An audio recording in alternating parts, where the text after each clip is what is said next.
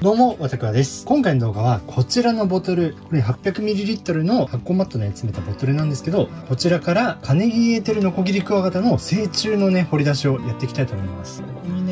とだけ見えてるんですけど、おそらくこの6本のボトル全部オスだと思うので、オスのね、掘り出しをやっていきたいと思います。それじゃあね、早速カネギエーテル掘り出していきましょう。ということで、まずね、1本目こちら、カネギエーテルですね。カネギエーテル多分ね、あの、動画で紹介するの初めてだと思うんで、紹介するんですけど、実はね、あの、今年の3月くらいのイベントで、成虫ペアを購入してて、夏くらいにね、産卵セットを組んで、でそれをね、あの、年の9月くらい、今からね、5ヶ月くらい前ですね。その時に動画とかに一切せずに産卵セット割り出しを行って、20匹いかないくらい幼虫をね、得ることができました。で今回はこれね、800ml のボトルに発酵マットを詰めて、ここにね、カネギエテル2例くらいの幼虫だったかな。1匹ずつね、ボトルに投入して、だいたい管理温度は20度からやっぱ22、3度くらいっていう感じで管理して、まあ、約ね、幼虫期間半年くらいでね、え今回成虫になってきてくれたのでちょっとね掘り出していくっていう形になります。あの産地はねキャメロンハイランドですね。マレー半島のキャメロンハイランドっていう場所で実はねキャメロンハイランド去年の年末に旅行でね、実際に行ってきた場所だったんですけど、年末年始12月くらいってあんまりね、そのキャメロンハイランド、クワガタのシーズンじゃなかったみたいで、あの、このね、カネギエテでもキャメロンハイランド生息はしてるんですけどやっぱね野外で見ることはできなくてそんな虫をねようやくちょっとね浮かさせることができましたね。いや結構ね奇抜な形奇抜な色と奇抜な形してる面白いノコなんですよね。こちらがカネギエーテルのコギリクワガタです特徴はねなんといってもこのトサカみたいなね頭に生えたこのトゲというか角というかこれがねこう2本出ててあとね顎がこうグイッと途中で湾曲しててこれね内視の形も顎のねこのトゲの形も結構ねかっこいいそれでいてね体の色も多分ねこの個体まだね羽化してまあ2週間くらいしか経ってないと思うんですけどもうね体の色はもうこれで固定ですね。ほぼほぼ成熟してもねこんな感じのクリーム色を保ってる。この色も美しいのコギリクワガタなんですよね。ただね、見ての通り結構ね、サイズがこんな感じ、ちっちゃいクワガタなんで、飼育レコードもね、だいたい 46.2mm が現在飼育レコードで、この個体はね、どうでしょうかね、40mm 超えるかどうかみたいなサイズ帯なんじゃないでしょうかね。ちょっとね、測っていきましょう。じゃ本日ね、最初のカネギエーテル、サイズはいくつでしょうか。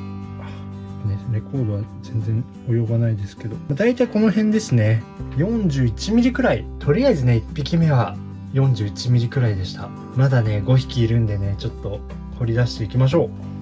次はね、こちらのボトルいってみましょう。こちらはね、ここで成虫入荷してますね。この個体、洋室デカめに作ってくれてるんで、ちょっとね、サイズ期待なんですよね。じゃあね、これ出していきましょう。まあ、カネギエーテルね、生息地がマレー半島のね、キャメロンハイランドってことで、結構ね、標高高いところに生息してるんですよね。大体ね、キャメロンハイランドの標高って、やっぱね、1500メートルとかね、標高が高くてね、涼しい場所なんで、そこにね生息しているこのカネギエテルも低温で大きくなる種類なのかなってところであるんですけどそれでもね、まあ、今回は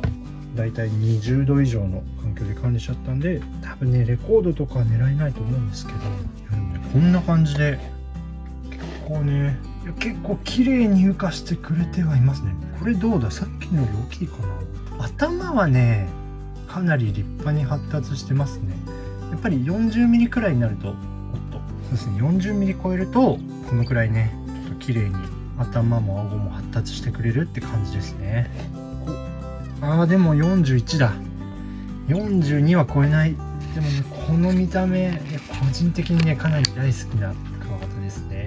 次はこちらこれもねここで羽化してるのが確認できてる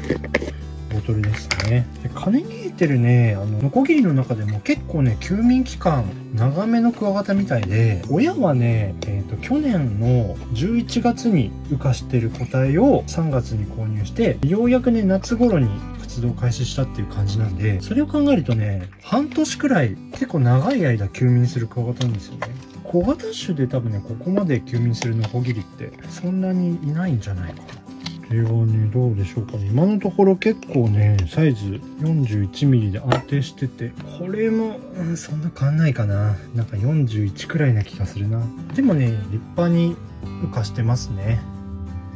変わらなそうだな。おあ41ないな。40 40.7ですね。これどんどんいきましょう。次もこちら。これもねもうここに見えてるオスですね。洋室もね結構いいところに作ってはいるんですけどやっぱねそのレコードの 46mm っていうのは相当でかいんだなっていうのと、まあ、今回のね管理温度20度以上くらいの、え温度だとねやっぱり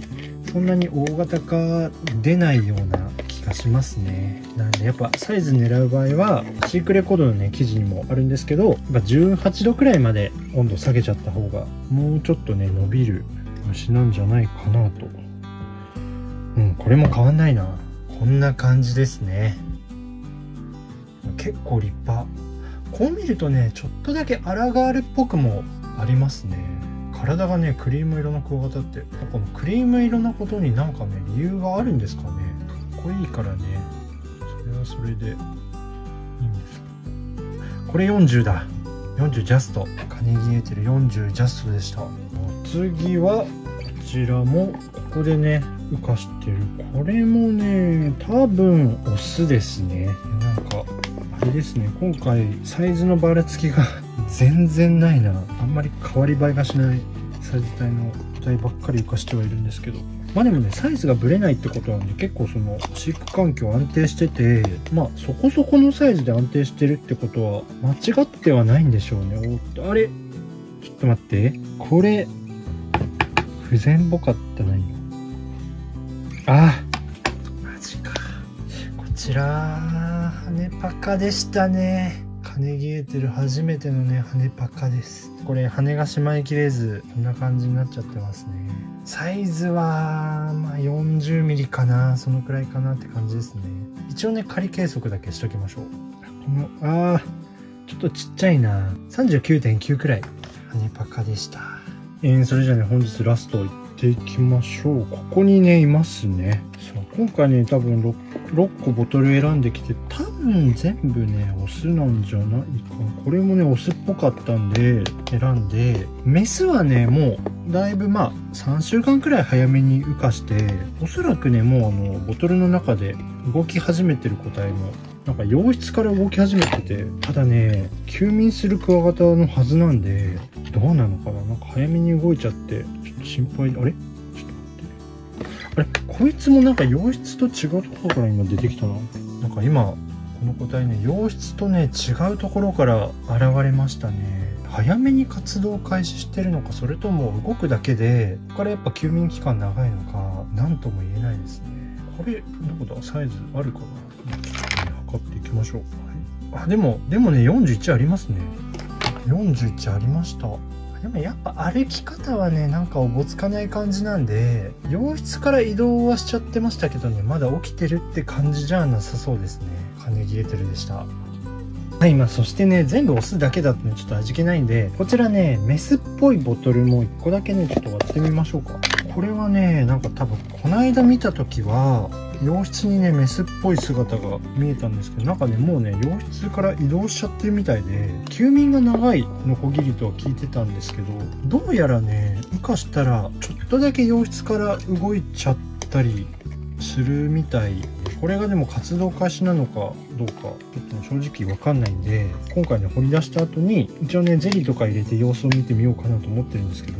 メスはねめちゃくちゃちっちゃいんですよ。ねこれ掘り出しも結構やりづらいというか見つけるのにね結構ね苦労しそうなくらいちっちゃいんですよねメスは。おあメスだ。やっぱメスだ。うんやっぱ洋室じゃないところから出ましたね。こちらがねカネギエテルノコギリコ型のメスですね。なんかね頭の模様がまたちょっと面白い。顔がねいい顔してますよねこれ真ん中に黒い筋が入って裏はねこんな感じ。ちょっと黒っぽい感じで。頭はねこの頭の模様いいですよねこれ。ちなみにサイズはちっちゃいな。このくらい。まあ大体 21mm くらいですね。この 21mm ねカネギエーテルにしてはでかいのかちっちゃいのかちょっとね分かんないけど相対的にはちっちゃいクワガタですね。これがねカネギエーテルでした。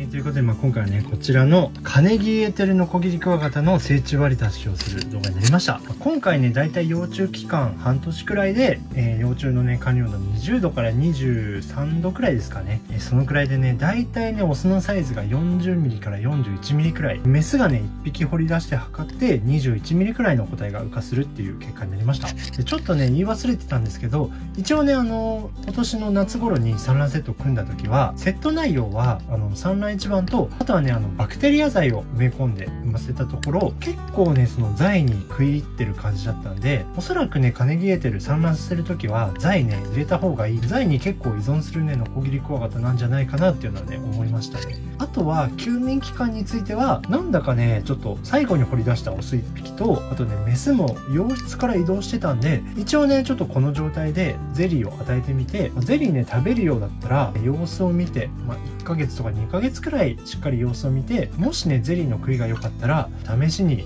あの、ペアリングとかね、セット組んでみるのもありかなと思ってますので、